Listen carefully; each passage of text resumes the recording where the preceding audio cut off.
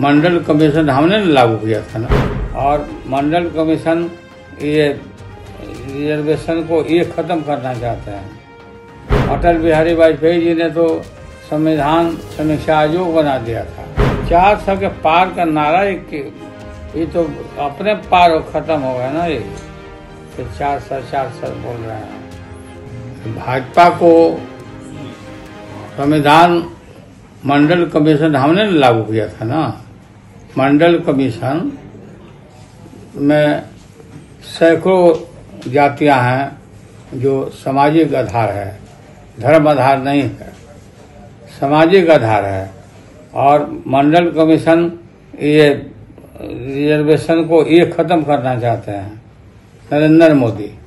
इसलिए इस तरह तरह का ये सब बहाना बनाते हैं।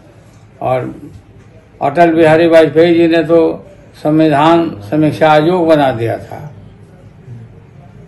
जिससे कि संविधान को लोग बदल दें और धर्म के आधार पर धर्म आधार हो ही नहीं सकता।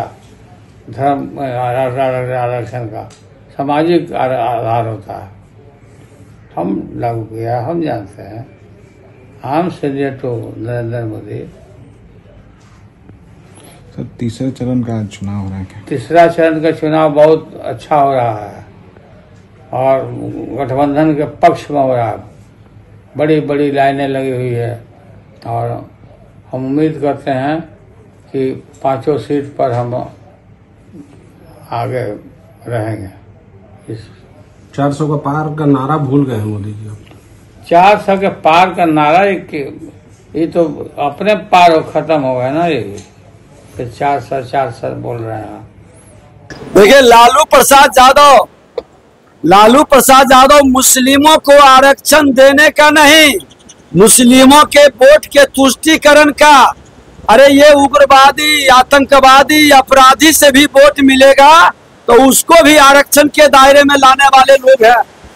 ये सनातन के संतान जो हमारे दलित अति पिछड़ा और जो संविधान निर्माताओं ने इनको दिया था, उसके अधिकार का हनन करने वाले लोग हैं।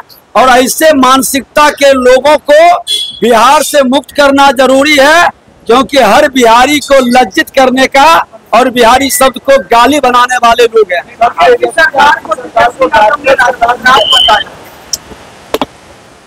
अब एनडीए की सरकार लोगों की 80 करोड़ को भूख से मुक्ति दिलाया 25 करोड़ को गरीबी रेखा से बाहर लाया, हर घर तक बिजली पहुँचाया हर गाँव को सड़क से जोड़ा और सबको स्वास्थ्य की गारंटी दिया तो वो राक्षस है। तो ये किनके वंशज हैं? अरे इनके यार कौन कौन है? सबको पता है। ये इनके यार कौन है? ये तो जवाब दे दे, आतंकवादी, उग्रवादी, अपराधी। ऐसे लोग को संरक्षित क्यों करते हैं? ये जवाब देना चाहिए।